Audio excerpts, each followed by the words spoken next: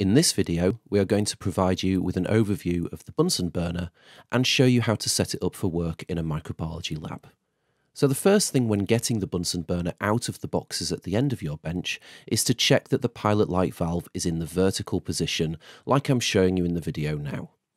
Next, we want to look at the collar at the bottom of the Bunsen. This controls the amount of oxygen mixing with the gas source and consequently controls the intensity of the flame generated. This will be important when we're lighting the Bunsen in a second. Finally, we've got the hose.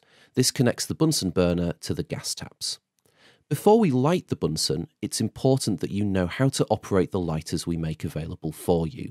These lighters use a wheel to provide a spark to the fuel source.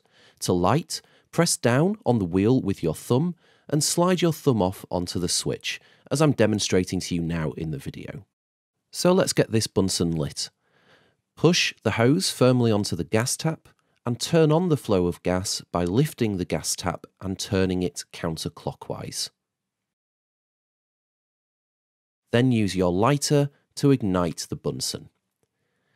When we are ready to work, we need to engage the blue flame of the Bunsen. This is the hottest flame and forces the air surrounding the Bunsen to go up, preventing any environmental organisms from landing in your cultures. When you are finished working, switch back to the yellow or safety flame. And that's it. At the end of the practical class, don't forget to turn the gas tap off and pack the Bunsen away into the same box you retrieved it from.